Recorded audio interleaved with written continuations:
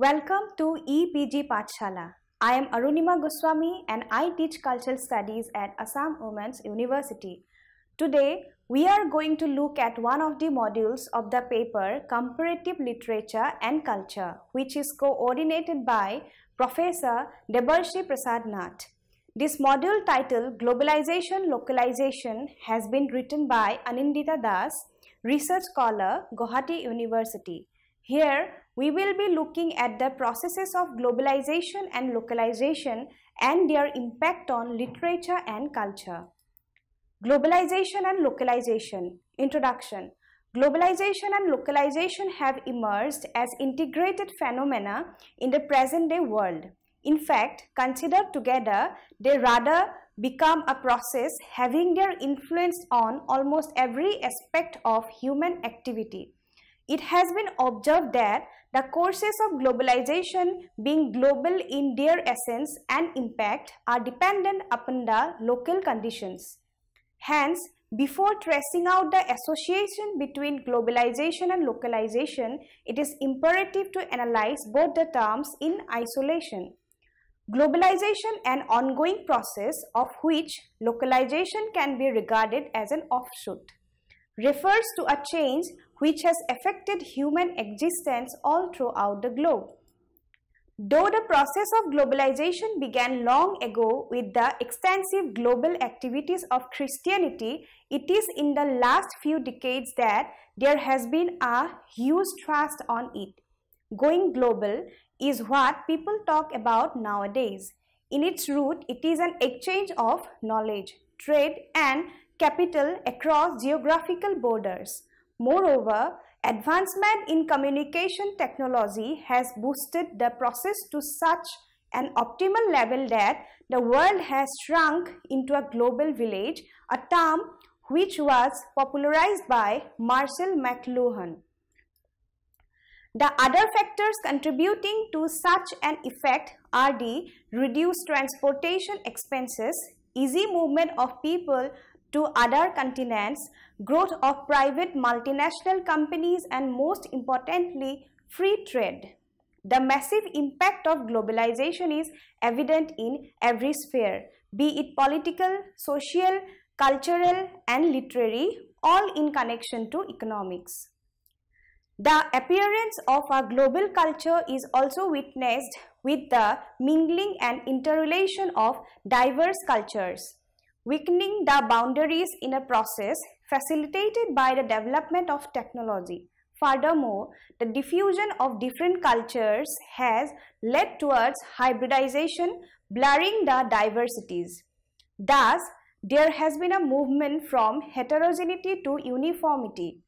This has in turn become a sign of the initiation of a global culture. The process of globalization. In today's world, abundant information and knowledge flows across the globe through the internet.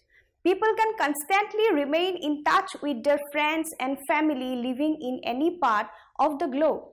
Goods and materials are shipped within a short span of time and people can now shop sitting at home from all over the world. Most importantly, during any emergencies, all kinds of aid reach the site in no time. It thus can be said in a nutshell that life has become much easier. However, there have been a lot of debates regarding the impact of globalization. To talk about its positive consequences, it can be said that it is, I quote, the process of world shrinkage of distances getting shorter, things moving closer. It pertains to the increasing ease with which somebody on one side of the world can interact to mutual benefit with somebody on the other side of the world, unquote. The description does seem to indicate the development of communication technology resulting in mutual benefit in all spheres including economic which is primarily associated with globalization. When economic economist Amartya Sen says that globalization has enriched the world scientifically and culturally and benefited many people economically as well. he focuses on an overall positive influence of the process. From the market to education, science to culture, the positive outcome rendered by the process is very much apparent.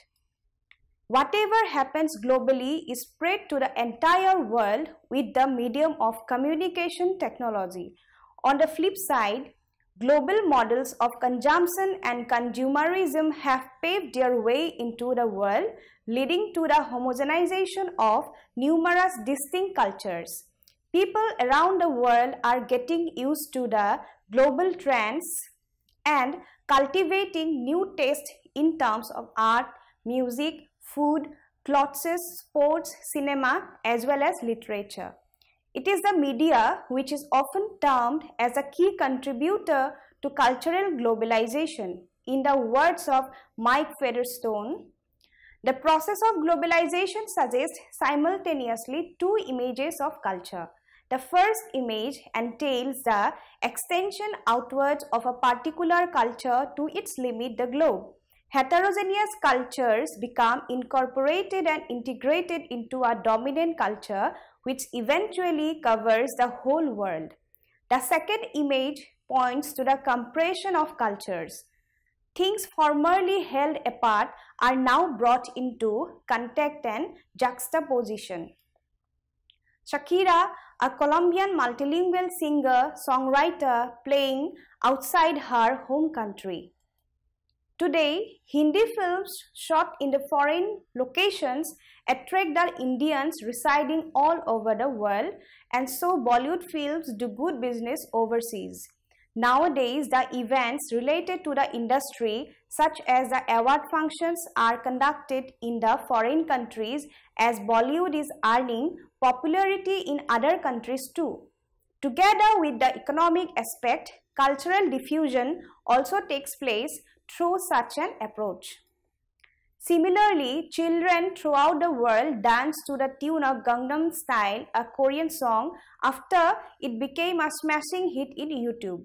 It indirectly signifies the cultural hybridization or the translocal merger of culture that takes place as an upshot of globalization. Nevertheless, in academic circle, globalization remains a debatable subject. The main concern regarding cultural globalization is that as a development of all kinds of knowledge is attributed to the West, globalization has become a process by means of which the achievements of the West are spread to the world. It is indubitable that the Western nations are behind all sorts of scientific, technological, democratic and trade-related affairs. Critics further opine that it is a novel technique of Western domination, American society being at the core of such an enterprise. For that reason, globalization is often used as a synonym for Americanization. Most of the time, it is American culture and products that permeate the global arena. For instance, People all throughout the globe are ardent fans of McDonald's, Levi's jeans, jazz music, Hollywood movies and Disney characters. As the ordinary citizens belonging to any part of the globe become the target of the multinational companies to sell their products, the local economies are threatened and locally manufactured goods are in danger of being moved away, affecting the integrity of local cultures. The disintegration of local culture or rather cultures has affected the marginalized nations due to the imposed foreign standards. The prime reason behind this is the ubiquitous presence of the American products across the globe. But at the same time, if seen from a different perspective, things do not look so bleak, especially from the perspective of those who are enthusiastic about novelty and variety without being critical about the pros and cons of the globalization process. They now have a wide range of choices in everything. It has provided them ample scope to broaden their horizon of knowledge to incorporate variety in their lifestyle which has come to mean keeping pace with the trend or to stay up to date. For such section of people, it is by choice that they accept things rather than adapting to something which is imposed. If this had not been the case, McDonald's burgers and Levi's jeans would never have been so popular across the globe. In fact, in many instances, people rejoice at and even demand the availability of such products locally. Global literature when we think about the impact of globalization on literature as well as in other aspects too, it usually implicates a standardized model which is accepted globally. In this context, the term world literature or world literature needs to be mentioned, which was first used by Johann Wolfgang von Goethe to put forward the international circulation and reception of literary work in Europe, including works of non-Western origin. Today, however, human life is becoming standardized. The process of imposed uniformity, which originally derived from Europe, continues its work and hence serves to undermine all individual traditions. To be sure, national wills are stronger and louder than ever, yet in every case they promote the same standards and forms for modern life and it is clear to the impartial observer that the inner basis of national existence are decaying.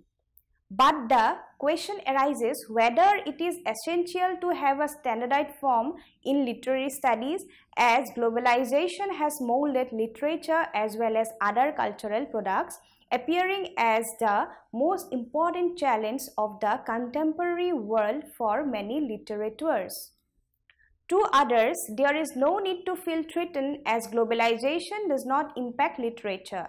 On the contrary, it is one of the dynamic forces of globalization which act in sync with technologies and communication networks across countries and localities. In critical discourses, of course, there is an indication of the formulation of global culture and literature by the readers. As Paul Jay points out, with this awareness, it has become increasingly difficult to study British or American literature without situating it and the cultures from which it emerged in transitional histories linked to globalization. At the same time, the remarkable explosion of English literature produced outside Britain and United States has made it clear that this literature is defined less by nation than by a language in which authors from a variety of cultural and ethnic backgrounds write. The globalization of English from this point of view is not a theoretical formulation or a political agenda developed by radicals in the humanities to displace the canon. It is a simple fact of contemporary history. English literature is increasingly post-national, whether written by cosmopolitan writers like Derek Walcott, Arundhati Roy and Nadine Gordimer or by a host of lesser-known writers working in their home countries or in diasporic communities around the world from Europe and Africa to the Caribbean and North America. I want to argue that we can more effectively recognize our approach to the study of what we have till now treated as national literatures by emphasizing literature's relation to the historical processes of globalization. Jay thus emphasizes the need to read literature from a newer perspective. The example of the Indian writer in English, Arundhati Roy, cited by Jay, who with her debut and Booker Prize winning novel, The God of Small Things highlighted the issue of untouchability in the context of Kerala, a South Indian province. This highly original novel not only highlights the social evil but also has been able to place Indian writing firmly in the world map. On the flip side, the case of Chinese literature and culture needs to be mentioned here. The Chinese, who had once been a powerful territory, went through a crucial phase after the decline of supremacy in the post-opium war period. There had been a huge economic, political as well as cultural setback. It was by the means of translation that cultural modernity took shape in China, which can be marked as the onset of globalization in the first place. Translation also played a vital role in reforming the modern Chinese literature's literary and critical discourses as the writers were influenced by Western literature. But in the process, the modern Chinese literature lost its traditional gist. Attempts have been made to translate Chinese literature and culture into English and other languages so that the rest of the world can become familiar with the rich cultural and literary heritage of China. Processes of localization. Localization on the other hand is the counterpart as well as a reaction of globalization. However, localization carries different meaning for different people. A comprehensive definition is provided by Schäler when he described localization as the linguistic and cultural adaptation of digital content to the requirements and local of a foreign market and the provision of services and technologies for the management of multilingualism across the digital global information flow. It indicates that localization gives rise to the need of alterations taking into consideration local culture and practices. Since language is the basic mode of communication, translation becomes an integral component of localization. Some people tend to equate localization with translation. In case of people who have no access to life-saving information in native language, translation plays a vital role. It is a known fact as mentioned earlier that English as a world language is the source of all global information and so a text is required to be translated into the target local languages to be transmitted to various localities. But translation alone does not serve the purpose. A direct translation of any textual material would not appeal much unless it is reformed and made adaptive to meet the linkings of the intended consumers. It may be for this reason that people identify more with the things which are familiar to them. The process of localization in such cases resists the domineering influence of globalization. Out of the various perspectives of looking into localization, a change in the attitude of the people worldwide towards the adoration of the local can be termed as the overwhelming effect of globalization. In a country like India where there is huge cultural diversity, different local cultures coexist. The various ethnic groups have their own distinctive cultures. Though globalization has brought about a vast change in the social, political, economic and technological sphere, it could only benefit a particular section. Being a developing country, about 70% of India's population still dwell in rural areas. Though technology has penetrated almost every corner of the country, people especially the underprivileged have not been able to exploit it to their advantage. Most of them are either ignorant or non-adaptive to the changes that are taking place. On the other hand, the scenario is to some extent reverse in the urban areas. Market expansion and competition have been witnessed in the forms of multinational companies being established. India at present is gaining global recognition and moving ahead towards turning into a leading economic and political force.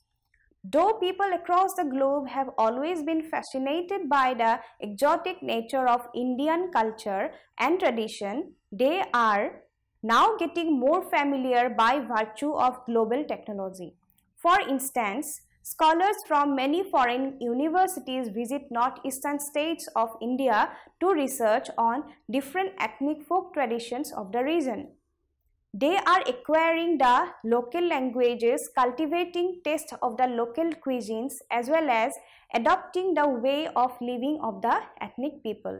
It is advanced communication that has made Naga King chili which has been declared as one of the hottest chilies in the world globally famous boosting the local economy side by side.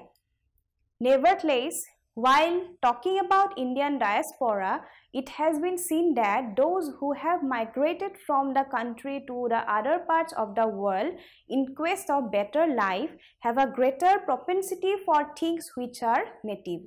For instance, the Assamese people residing in the nook and corner of the world form communities among themselves. They seem to be romanticizing more over things that are local. It is through them that the Assamese festival, Bihu and traditional Bihu songs have become known across continents. The works of both the writers and carry traces of Indian culture despite the fact that they basically deal with the theme of interconnectedness of nations, people and culture by entwining lives. For instance, the the works of Buddha writers carry traces of Indian culture despite the fact that they basically deal with the theme of interconnectedness of nation, people and culture by entwining lives. For instance, the self-referential narrative in Rushdie's Midnight Children alludes to the orally narrated Arabian Nights displaying indigenous Indian culture. Globalization and localization are perspective. It is since long back that the processes of globalization and localization have been going on. Keeping in mind the fact that there are linguistic, cultural and technical variations in different locales, the validity of globalization is questioned. It has to be taken into account how far people are keen on succumbing to a global culture. However, some forms of globalization are human and tends to include and respect the cultural diversity in the process. They also seem to promote traditional and innovative ideas and cultural practices. On the contrary, a number of global agents are seen to be discouraging local culture and tradition for their own selfish interest of spreading their own and on the more try to do so. The more becomes the tendency to localize. Thus, localization can also be seen as a means of resistance. The local texts are translated to make them accessible in a global context. This is one of the most basic ways of bringing a culture to the notice of the global audience. It is also about creating a cultural identity. At the present state of globalization, retranslation and reappropriation of the text which were once local is in fact an attempt from the standpoint of world literature to create its space in the existing globalized condition. Another important factor which has aggravated both the processes is food. On one hand where burger Kentucky Fried Chicken and Coca-Cola have taken the place of paratha, tandoori chicken and dal jeera, the same burger is flavored with Indian masala and aloo tikki. In the same manner, Chinese cuisine, which is released globally, are assorted with local spices to give it local flavor as authentic Chinese food does not suit everyone's palate. Even McDonald's serve mutton burgers in India in place of beef and pork, keeping in mind India's religious feelings. Globalization has appeared to be a major challenge of our time. This is the age of the might of internet which has totally transformed the face of communication of the entire world. The newly coined word glocalization which blends the two words globalization and localization needs to be mentioned here. The terms was popularized by the sociologist Roland Robertson as a replacement for the concept of globalization as he desired to eliminate the difference between global and local. It is I quote, the combination of intense local and extensive global interaction, I unquote. In the words of Barry Wellman, and it is true that interaction that people get over their little box thinking. People are able to think big in all aspects. This has also eliminated conservative outlook of people, helping them to overcome all sorts of biases. Moreover, when localization and culture interweave, the local communities get crucial role to play in developing and sustaining global policies. Therefore, localization also becomes a strategic approach of the local communities to have adequate participation in the globalizing process. The governments and other organizations standing between global resources and global communities are removed. It also encourages revitalization of local culture. The notion or rather an apprehension which commonly prevails in some circles about globalization's overpowering consequence is that it may crush local culture. Leslie Sklair's view in this regard provides an insight appropriate to the context when he says, Globalization is not simply about the disembedding of the local, it is rather about the creation of a new global local nexus, about exploring the new relations between global and local spaces. These questions have been explored most fully in a subset of global culture approach known as globolocalism. The main research question in this context is the autonomy of local cultures in the face of an advancing global culture. Competing claims of local cultures against the forces of globalization have forced themselves onto sociological, cultural and political agendas all over the world. Such an observation does not seem to deny the existence of global forces which try to crush the local. It also indicates the struggle of the local to resist such forces. In that case, it becomes a matter to ponder that how far globalization and localization together have become or can be fruitful to the human race. If the processes keep on confronting each other rather than complementing each other, humanity is unlikely to be benefited much from it. Now, whether a nexus Sklair talks about is free from any predicament is also a question which may have different dimensions to it. It may either produce very effective result with an all-inclusive growth of the world population or both the processes may lose their individual essence and end nowhere. These are very pertinent topics which will always crop up while discussing globalization and localization. Conclusion It has been discerned from the discussion that the processes of globalization and localization are ongoing and it is obvious by now that they are an integral part of the global reality of the present times. Whatever the processes might be extended to in the future, the expectation of common people would always remain the same, welfare and development. And to fulfill this, it is necessary to strike a proper balance between the two.